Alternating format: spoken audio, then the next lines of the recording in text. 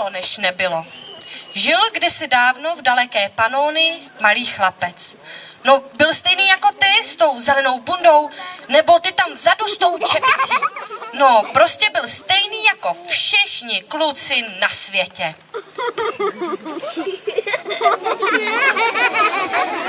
Jeho tatínek byl velitelem římských vojáků. Uctíval boha války Marta a svému synovi dal podle něj jméno Martin. Martin byl chytrý chlapec a trávil mnoho času se svojí maminkou při čtení knih a studiu.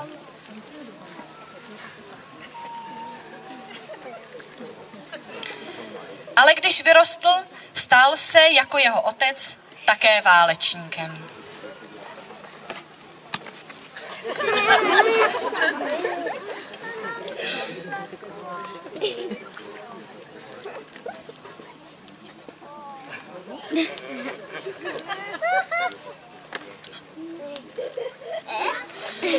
Vojenský život nebyl nikdy jednoduchý, ale Martin měl v sobě mnoho síly a odvahy.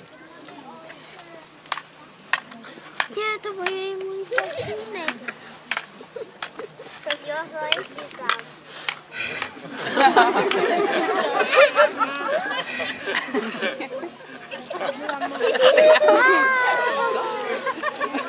Přes toho jeho mnohá vítězství a vyhrané bitvy netěšily.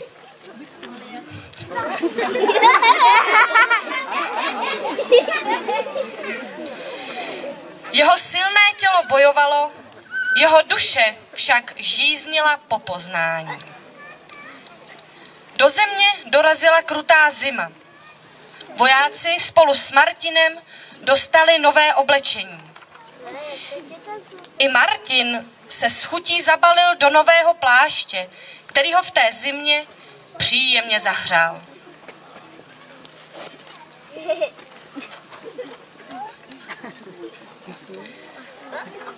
Toho roku byla zima snad ještě krutější než jindy. Chudí lidé trpěli mrazem. Stejně jako žebrák, který hledal útočiště před Vánicí za městskou hradbou.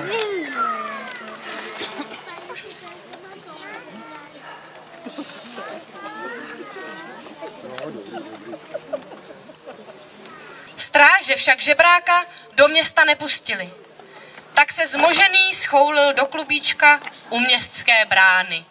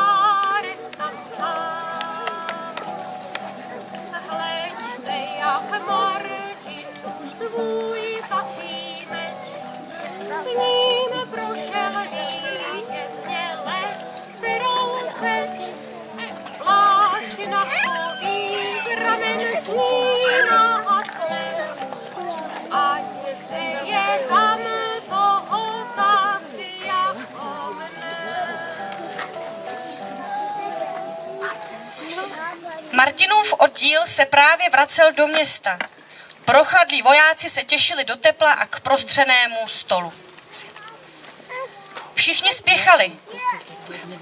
Prokřehlý žebrák ležící na zemi jim jen a jen překážel.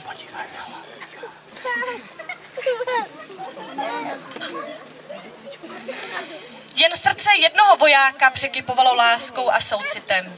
Jen jeden voják se u mrznoucího žebráka zastavil a přemýšlel, co mu dá, když sám u sebe žádné peníze nemá. A stejně by chladné mince muže nezahřály. Jen Martin to byl, kdo žebráka zahřál svým dobrým skutkem a pláštěm, který svým mečem přesekl a s žebrákem se o něj předělil.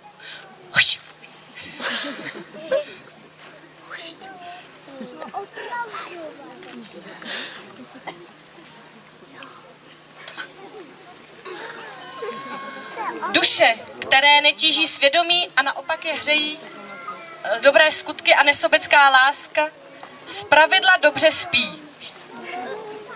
Stejně tak Martin toho večera pokojně usnul hlubokým spánkem. Měl však zvláštní sen, nebo to snad byla skutečnost? Přistoupil k němu anděl. Mami, to je.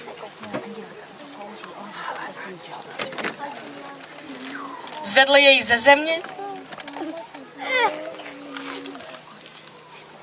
a vrátil mu jeho plášť.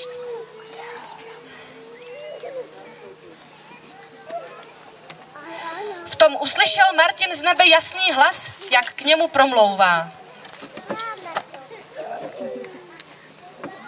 Martine, dnes ty jediný si mi pomohl. Jen ty jediný si prokázal milosrdenství i tomu nejobužejšímu z ubohých. Jen ty jsi pochopil, že cokoliv uděláš třeba tomu nejposlednějšímu z lidí, jako bys mě učinil. Děkuji ti, Martine. Martin ráno vstal, ale nebylo to stejné ráno jako dřív. Najednou věděl, že jeho posláním je šířit dobro, které každého zahřeje jako plášť. Dobro, které všem ukáže správnou cestu jako světlo lampy a prozáří dobu temna a beznaděje.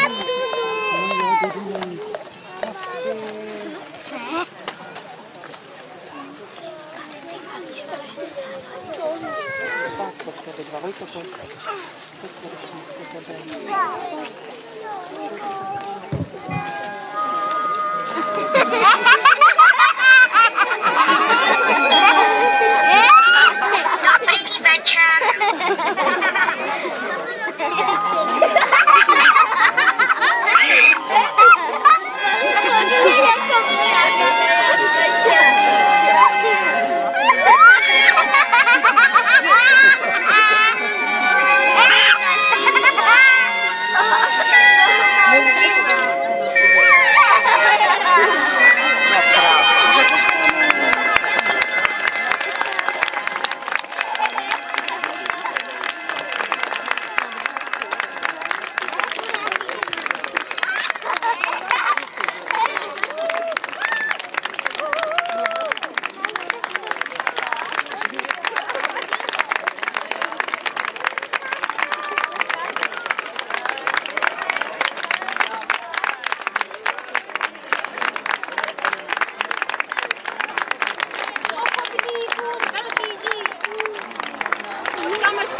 す